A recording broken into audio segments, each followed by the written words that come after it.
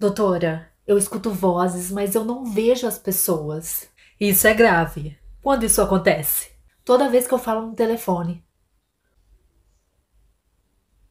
Sai daqui.